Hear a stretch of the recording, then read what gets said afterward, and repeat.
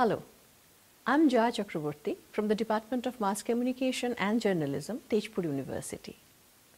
Popular participation or people's participation entered the international development discourse since 1960s.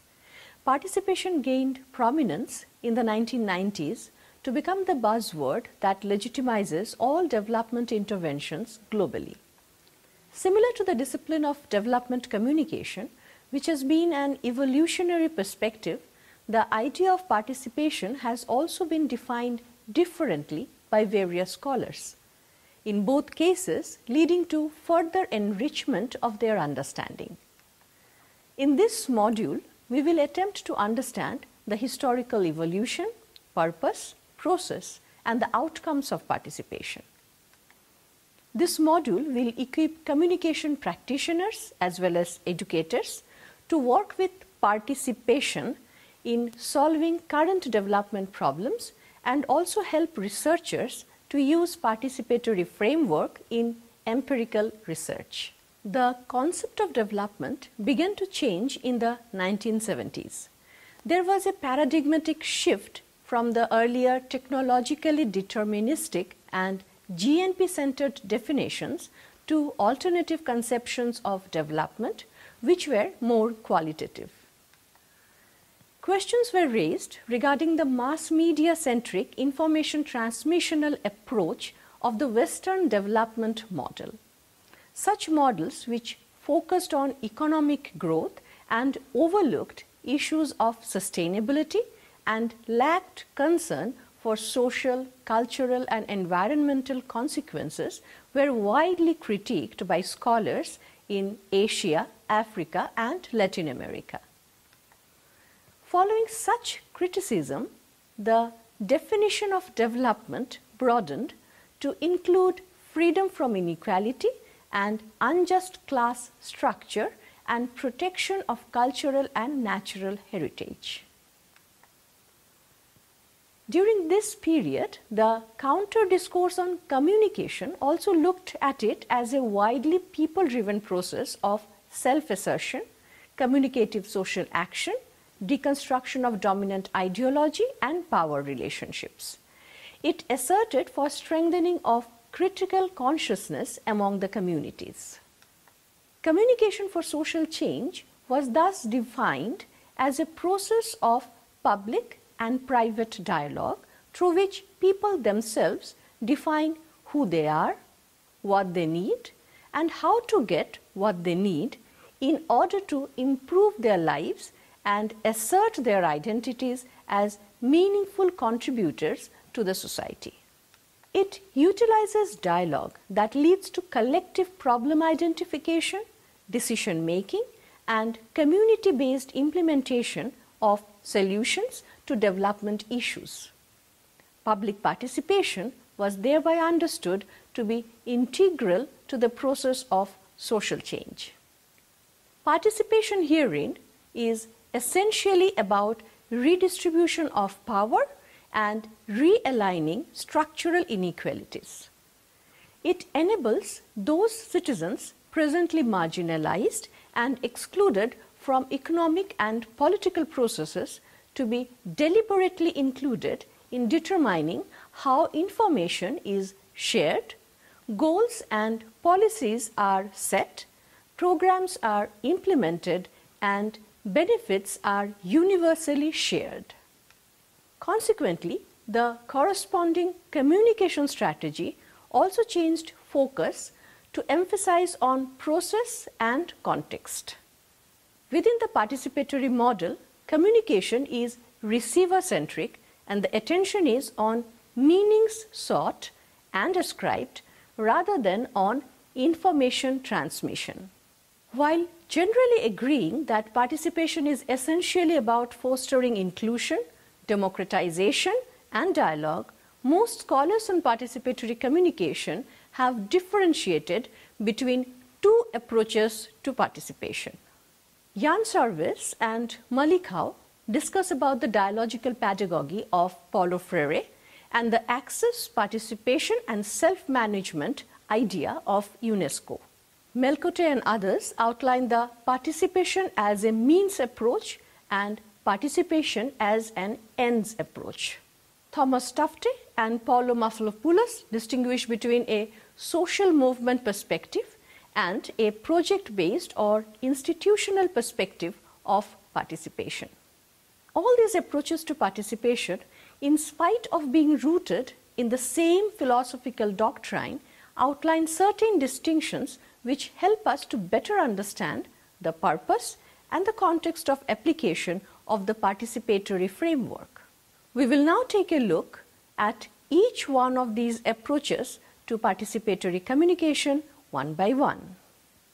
One of the earlier and most noteworthy scholars who applied the ideas of liberation theology to communication practices in development was Paulo Freire.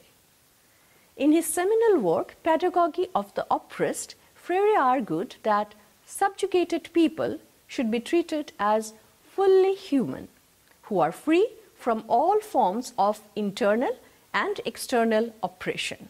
He calls for a dialogic process of liberation that leads to expanded consciousness and power. Freire assumed that genuine dialogue frees people and communities to determine their own future. He called this radical outcome as conscientization, which means learning to perceive social, political, and economic contradictions and to take action against the oppressive elements of reality. Freire's idea of participatory communication thus laid more emphasis on the intentions of communicative action rather than on the forms and languages of communication. The UNESCO discourse, on the other hand, which talked about participatory communication, looked at it as a progressive model of participation whereby the first stage of access means the use of media for public service. At this stage, the public have the opportunity to choose from relevant communication content and can give feedback to transmit their reactions and demands to the production organization. In the second level of participation, the public have involvement in the production process, planning and management of the communication system. Such involvement may be limited to representation or consultation in decision making. A more advanced level of participation is self-management. In this case, the public exercises the power of decision making and is involved in formulation of plans and policies with regard to communication enterprises. The UNESCO approach is distinct from the argument of Freire in that it allows for gradual progression from access to self-management, whereby the final stage may be delayed based on the preparedness of the community. Freire, however, does not provide any such scope of compromise in terms of gradual participation. He believes that there is either full participation or no participation. One either respects the culture of the other or falls back into the dominant banking mode of education. Another difference between the two approaches is that Freire talks in terms of the oppressed whereas UNESCO mentions in neutral terms about the public and refers to self-management of institutions by those participating in it. Participation as a means approach is operationally situated within the dominant paradigm, though its roots are credited in discourses that are critical of it. On the face of the rising Latin American criticism of the dominant paradigm in the 1970s, Various proponent scholars of the Western modernization approach acknowledged its limitations. They expanded their research to include interpersonal networks of participation in order to make the dominant paradigm more expansive, flexible, and humane. However, they still dispelled all local knowledge and cultural beliefs as inconsistent with the reality of globalization. Participation was thus being used to enhance the status of traditional development practices and as a means to redeem the dominant paradigm from all interrogation. Such use of participatory communication was essentially a manipulative consultation done only to help advance a predetermined objective. Conversely, participation as an end approach maintained that participation must be recognized as a basic human right and that it should be accepted and supported as an end in itself and not just for its use to achieve other kinds of result. The rise of the neoliberal development discourse and the community development programs in the 1980s added to a new dimension to the understanding of participatory communication. It was being seen as an instrument of fostering bottom-up process of self-determination through localized self-help groups in times of shrinking states. Participation was seen as an instrument to make community-based projects more efficient and effective. It was not about contesting structural violence or pursuing social transformation, but focused on service delivery in the most efficient manner. The alternative ideology contests that pragmatism and instrumentality inherent in the perception of participatory communication has to be replaced by an ideological stance. A shift is required towards radical participation, which is a normative stand calling for a bottom-up perspective in pursuit of social justice and human rights in pro-poor communication. In an environment of genuine participation, all development stakeholders would employ participatory communication to author development from below, restructure power relations and enhance public sector accountability by including participation in policy processes. Thus, the discourse on the practice of participatory communication have evolved substantially over time.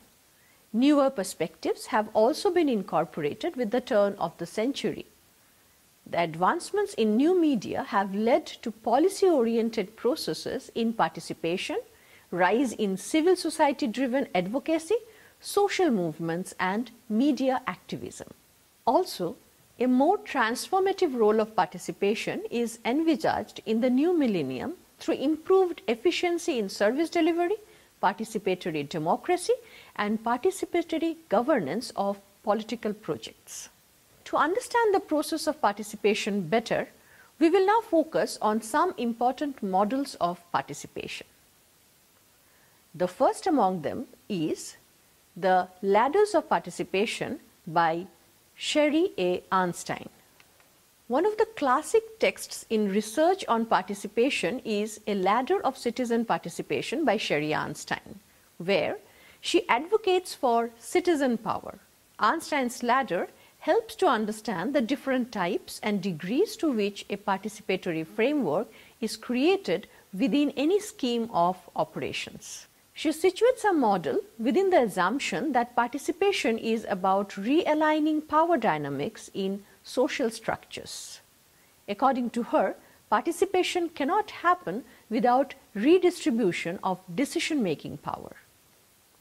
The ladder has eight rungs representing eight types of participation with each rung corresponding to the extent of citizens' power in determining the end product. Starting from the lowest rung, the degrees of participation can be categorized as non-participation, that is when the citizen are passive. Uh, next as tokenism, where the citizen are partially responsive. And lastly, the citizen power, where they are actively engaged in the process. The bottom rungs are manipulation and therapy, which are both non-participative. Here the purpose is to just cure or educate the passive participants we are understood to have no knowledge or capacity. The idea is to just create an environment of acceptance and agreement among the public through strategies of public relations. This is the type of participation that we are most familiar with. Here, there is no active role designated for the public. The rungs 3 and 4 information and consultation correspond to tokenism, where the have-nots are allowed to hear or have a voice. but they lack the power to ensure that their views will be heeded by the powerful.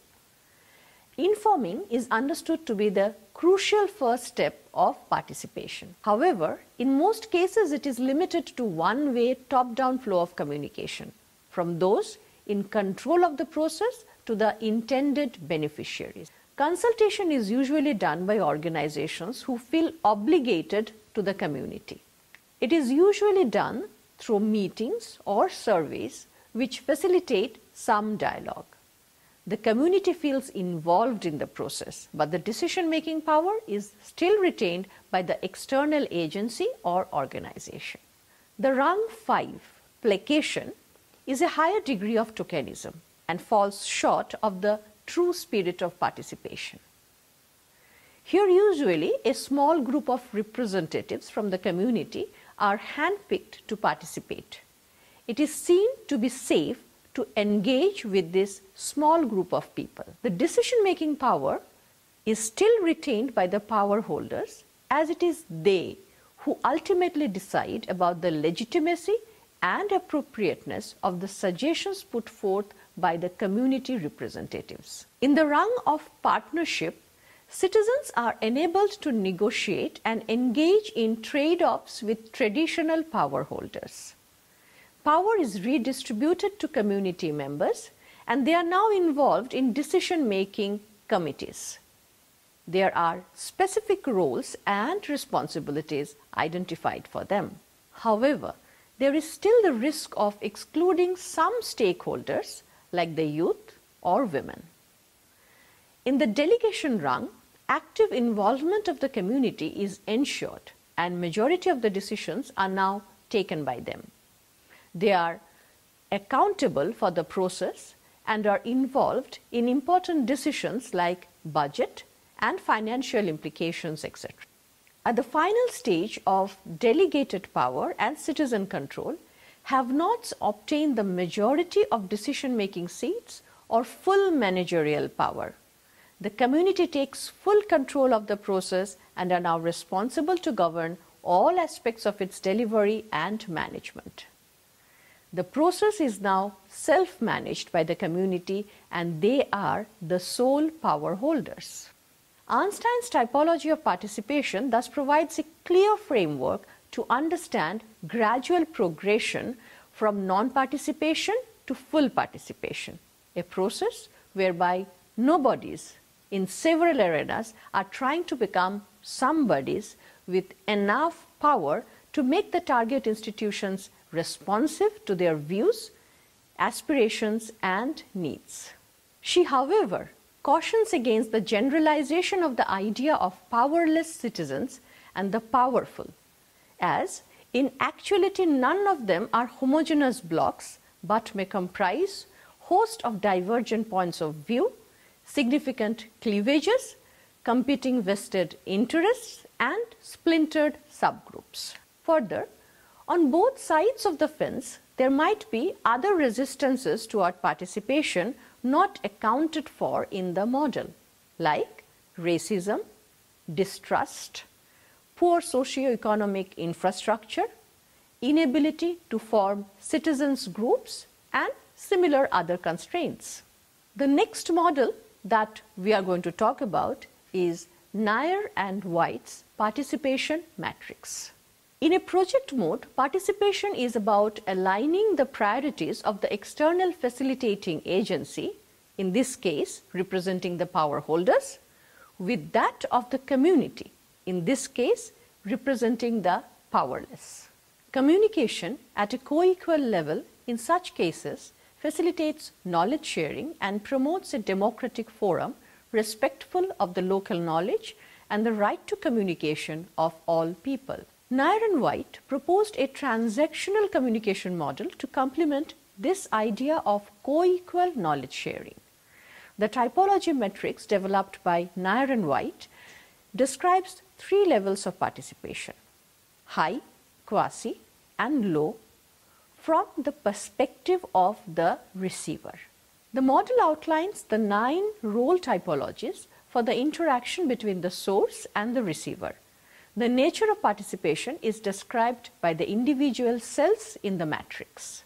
In this matrix, cell 1 represents the ideal type of communication where there is high involvement on the part of both the target group as well as the development communicator. In this type, the source and receiver are in continuous contact and working as equal partners in the development effort, making decision regarding implementation and jointly assessing the outcomes of the process. This, however, remains a more utopian condition, difficult to achieve in reality due to the unequal power structures and inequitable distribution of resources. Nair and White rather put forth the transactional typology of cell 5 to be a situation best suited for knowledge sharing on a co-equal basis between the source and receiver as it is more realistic and achievable. The cell 9 represents a haphazard mode of communication which means that there is no outlined participation or communication between the source and the receiver. Such sort of a communication is obviously destined to fail.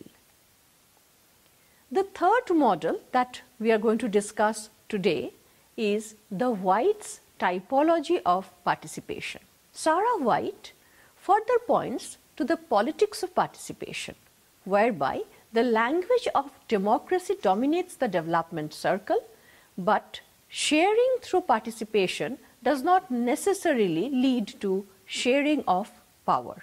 The important question that she raises are about who participates and at what level. She identifies the diversity of form, function and interest that get entwined with the process of participation. White identifies the competing motivations for different players or actors, their conflicting ideological perspectives that may come into play during any initiative. The model distinguishes four types of participation and the characteristics of each. She identifies nominal, instrumental, representative and transformative participation. In the tabular model, the first column shows the form of participation. The second shows the interest in participation from the top-down perspective indicating the interest that the program designers and developers have in the participation of others. Conversely, the third column indicates the bottom-up perspective of the interest and expectations of the participants from the process.